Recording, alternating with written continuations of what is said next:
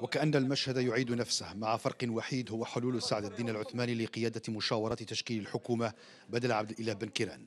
فيما ظلت الأحزاب جميعها متمسكة بمواقفها من المشاركة في التحالف الحكومي المرتقب أو الاصطفاف في المعارضة مثلما هو الحال لدى حزب الأصالة والمعاصرة. أمور يجب أن تستمر.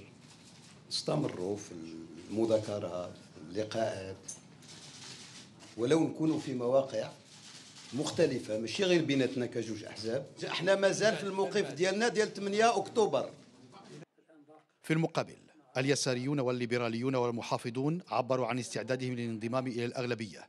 الأمر الذي قد لا تقبل به الأمانة العامة لحزب العدالة والتنمية التي لن يستطيع رئيس الحكومة القفز على قراراتها. نقولوا للسي العثماني بان كنأيدوه. وبأنه بغينا ندخلوا في الحكومة ديالو وبأنه إحنا مستعدين نشتغلوا معه كرئيس الحكومة. الأيام القادمة ستشهد جولة من مفاوضات لا تبدو سهلة.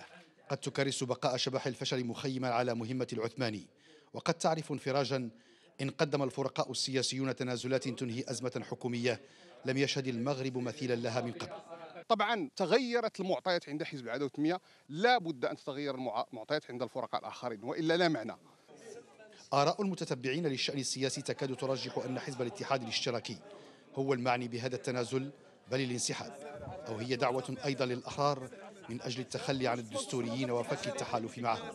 هذه المشاورات الأولية تم تمانينعتها بمشاورات المجاملة فيما تتوقع أطراف سياسية حتى من داخل العدالة والتنمية.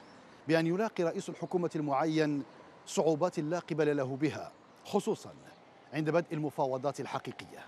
عبد الحي البقالي الحرة الرباط.